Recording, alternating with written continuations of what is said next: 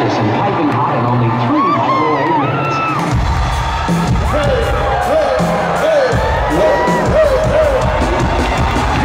minutes. Hey, hey, hey,